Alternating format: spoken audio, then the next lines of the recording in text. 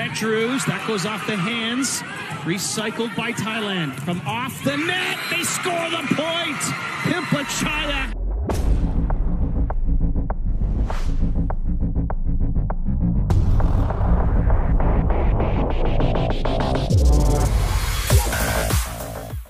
สวัสดีครับ THA Volleyball ช่องของคนที่ชอบดูวอลเลย์บอลกลับมาพบกับคุณผู้ชมทุกท่านอีกครั้งหนึ่งแล้วนะครับ ระหว่างที่เรากำลังรอการแข่งขันวอลเลย์บอล Nations League สัปดาห์ที่2นะครับซึ่งสาวไทยของเราเนี่ยก็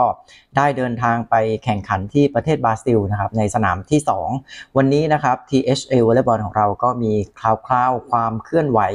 เกี่ยวกับการแข่งขันวอลเลย์บอล Nations League สัปดาห์ที่ 2 ของสาวไทยมาฝากกัน โดยที่ล่าสุดนะครับ นุศราต้อมคำยอดมือเซตแล้วก็ตำนานอดีตเจ็ดเซียนของวอลเลย์บอลหญิงไทย ก็ได้ออกมาไลฟ์สดนะครับ แล้วก็พูดถึงการแข่งขันวอลเลย์บอล Nations League 2023 ซึ่งนุศราเองก็ได้วิเคราะห์จุดแข็งของทีมวอลเลย์บอลหญิงของ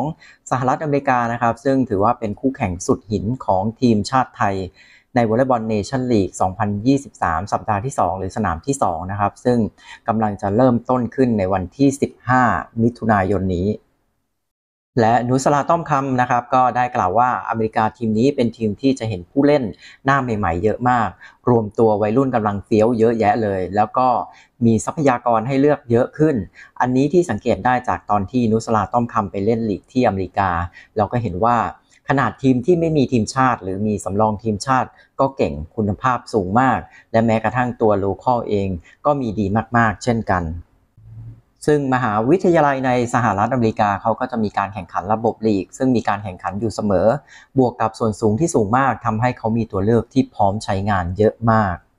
และนั่นก็คือทัศนะนะครับคือความคิดเห็นของนุสลาต้อมคำที่ออกมา เผยถึง จุดแข็งความแข็งแกร่งของทีมสหรัฐอเมริกา ซึ่งเป็นทีมที่เรียกว่าเป็นคู่แข่งสุดหินของทีมชาติไทยในสัปดาห์ที่ 2 ของ VNL 2023สำหรับสหรัฐอเมริกานะครับหลังจากจบสิ้นการแข่งขันในสัปดาห์ที่ 1 สหรัฐอเมริกาก็อยู่ในอันดับที่ 3 ของตารางคะแนนใน VNL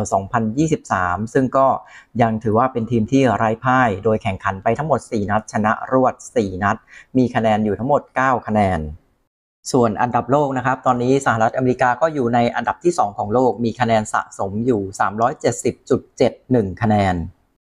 เราไปปิดท้ายกันที่โปรแกรมการแข่งขันของสาวไทยของเราในสัปดาห์ที่ 2 กันดีกว่านะครับ โดยที่สาวไทยของเรานะครับ ก็จะลงทำการแข่งขันในสัปดาห์ที่ 2 ทั้งหมด 4 นัด โดยเริ่มต้นที่วันที่ 15 มิถุนายนนะครับ เวลาตีสามครึ่งนะครับ เป็นช่วงเช้ามืดเลยนะครับ ทีมชาติไทยก็จะลงสนามพบกับเยอรมนี